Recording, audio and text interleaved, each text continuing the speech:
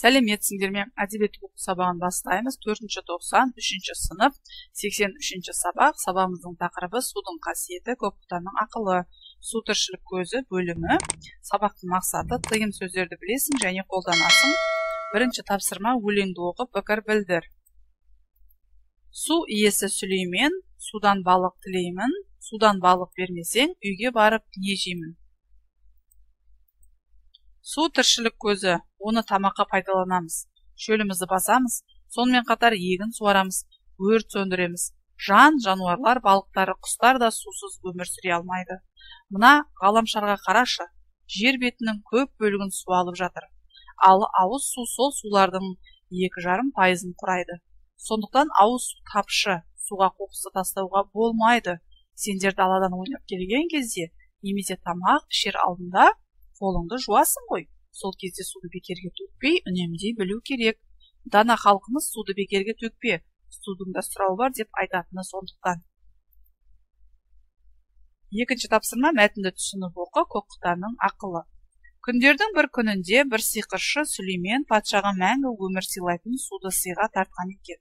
Киелі суды ішу ішпеуі жөнінде ақылдаспақ болып күллі аң мен құстарды жинайды. Ұзамай хайуанаттар біткен тегіс бас қосады. Тек ұзын сирақ бұқтан ғана келмейді. Сонда сүлеймен патша тұрып итке тіл қатады. Сенің басқалардан байбаланың көктеу еді. Сен барып көкқұтанды азғырып әкелші маған дейді. Ит шынымен ақ.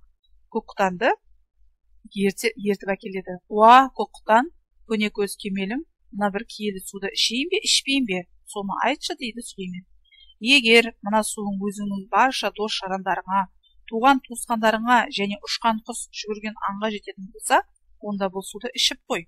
Тамшысын да қалдырма. Сонда өмірден бақытты да қуанышты да табасың. Бірақ оны бір өзің ғана ішсең мәңгі бақи өкініп опынумен өтесің. Жалғанда соқа басың сопайып жалғыз қаласың. Жақын жуығының бәрі баяғыда кеткен соң бір өзің не қуаныш не қызық көріп жартантисың япырмай сен шынында да данышпан екесің мұны маған сенен басқа тірі жан айта алмас еді дейді сүлеймен риза болып. Сөйтіп ол киелі суды ішпейді. Қосшы қожа аударған әбдімәлік жұмабаев. Мәтін бойынша тапсырма үшінші тапсырма. Сүлеймен патша киелі суды ішуден неге бас тартты? Пікір білдір. Егер елін жерін аман сақтап ә, қалу үшін тоқұтаның айтқан ақылын тыңдады. Яғни жалғыз қалудан қорықты. Төртінші тапсырма. Суға қатысты тыйым сөздерді жалғастырып жаз.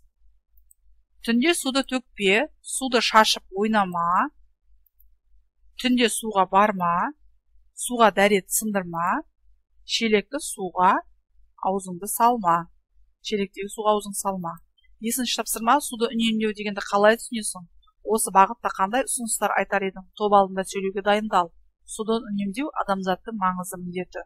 Су біз үшін өте маңызды. Сондықтан суды ысырап етпей үнемдеп жұмсауымыз қажет.